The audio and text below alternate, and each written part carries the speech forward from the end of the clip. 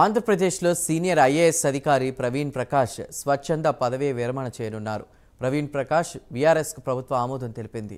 September ముప్పైన ఆయన స్వచ్ఛంద పదవీ విరమణను చేయనున్నారు.